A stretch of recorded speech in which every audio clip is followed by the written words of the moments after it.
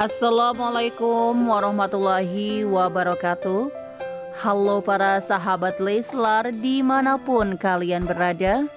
Selamat pagi dan selamat berjumpa kembali bersama Mimin tentunya di channel Youtube Leslar Al-Fatih. Kabar dan info menarik terbaru dan terhangat seputar Lesti Kejora dan Rizky Bilar bagi para sahabat yang baru menemukan channel ini, jangan lupa untuk selalu mendukungnya. Dengan cara menekan tombol like, subscribe, dan komen, serta bunyikan tanda lonceng notifikasi, tujuannya agar para sahabat tidak ketinggalan informasi selanjutnya.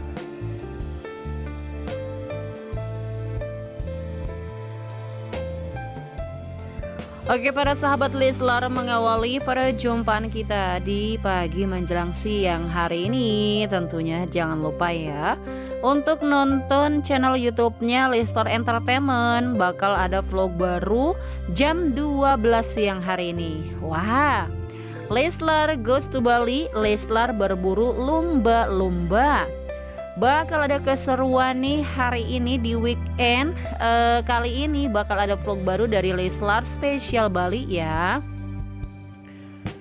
Ada caption dari Leslar Entertainment. Papa Bilar penasaran mau lihat langsung atraksi lumba-lumba yang heboh malah Bunda Lesti Kejora. Kenapa yang heboh Bunda ya? Ya namanya juga lumba-lumba yang dilihat. Kalau lumas masih yang heboh pastinya. Kalau pakai kaos dari MRB Clothing Lane Kita semua jadi pemasaran loh. Bukan penasaran lagi nih. Yuk serbu Youtube Playstore Entertainment. Jamnya kalian tunggu aja insya Allah Sebelum jam 12 sudah diunggah Kemudian langsung banjir komentar. Uh, Oke okay deh Min. Awalnya aku kira Kak Bilar ngomong domba. Eh setelah didengar lagi ternyata lomba-lomba ya. Pastinya seru banget vlog kali ini. Bunda Lesti Kejora heboh banget bikin penasaran. Jangan lupa nonton. Kemudian untuk kabar berikutnya ada unggahan terbaru nih dari Cici Helena Lim mengunggah foto bersama Lesti dan Rizky Bilar kemarin. Ada caption juga nih yang dituliskan oleh Cici Helena Lim di feednya. Hidup adalah pilihan, berbahagialah selagi kamu bisa memilih daripada hanya menerima pilihan orang lain. Walau kamu tidak suka kritikan, hujatan, fitnah, sirik anggap seperti ombak dan batu kerikil yang hanya ingin menghambat perjalananmu sampai ke tempat indah tujuanmu.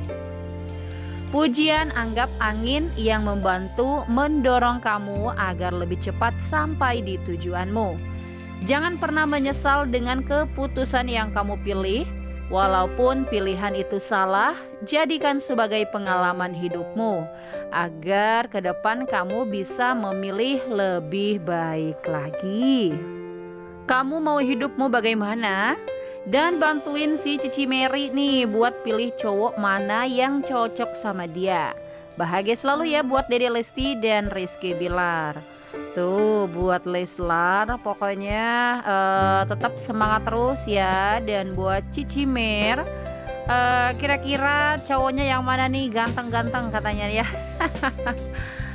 Kemudian juga untuk kabar selanjutnya ada unggahan dari uh, Rizky Kiki yang berkomentar di feednya Cici Helena Lim ya.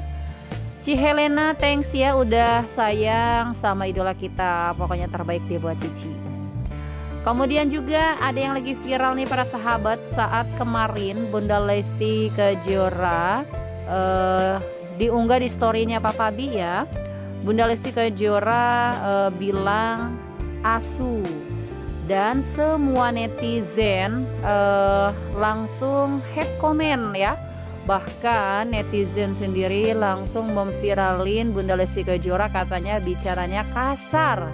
Dan ternyata netizen ini salah nih guys. Tuh udon terus sih. Makanya ditelaah dulu ya Kenapa Bunda Lesti Kejora bilang asu? Karena ownernya adalah Koasu Dan Koasu sendiri adalah nama orang ya.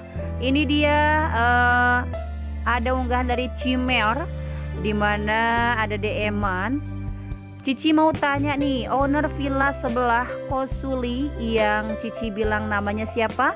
Ko Asu. Jadi masalah sekarang karena Lesti nyebut-nyebut nama dia pas di story. Kirain kata-katanya kasar. Walah ampun deh katanya ya. Makanya jahat banget nggak ngerti-ngerti apa-apa main viralin aja. Ci next week ya kita main bareng badminton. Ntar susun jadwal Lesti sama Bilar dulu. Dasar nih netizen selalu seudon terus. Hmm, Padahal Bunda Lesti Kejora ini tidak serta-merta uh, berkata kasar. Cici Mary ini menyebut nama orang namanya Koasu ya para sahabat jadi sudah jelas Bunda Lesti Kejora ini tidak mungkin berkata kasar dan sudah dijelaskan juga bahwa ketika Bunda Lesti Kejora bilang asu itu adalah ke uh, koasu alias nama orang ownernya uh, villa ya Dulu bos aku di ekspedisi juga namanya Koasu. Awalnya aku nggak berani nyebut Koasu karena takut kesinggung ya. Eh malahan dia lebih tersinggung kalau aku panggil Koko aja. Pokoknya jangan merasa sok tahu kalau cuma lihat sepenggal story. Jangan cari kesempatan untuk menyerang dan fitnah. Untung Lesti orangnya baik banget dan sabar lagi ya. Tapi saya sebagai teman gak bisa diem aja Coba pikir sendiri pakai otak Anda. Cek bener nggak ada nama asu kalau orang Chinese itu. Bener-bener netizen maha benar. Padahal niat cuma ngeledek ko asu malah dijadikan bahan fitnahan. Kalau uh, Bunda Sika Jora yang bilang pasti banyak aja ya yang memviralin kita hanya bisa kontrol diri kita sendiri nih guys dan selebihnya kita uh, jangan kepancing pokoknya. Jangan nyindir-nyindir. Uh, kita doakan yang terbaik saja apa pun itu. Leslar sekarang lagi happy nih.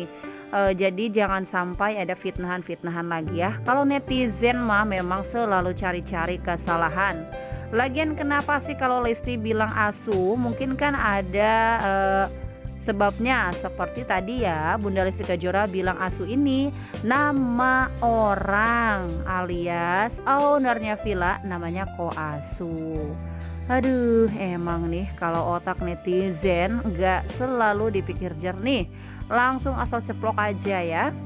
Pokoknya doa terbaik deh buat Leslar mudah-mudahan selalu dalam lindungan Allah Subhanahu wa taala. Amin ya robbal alamin.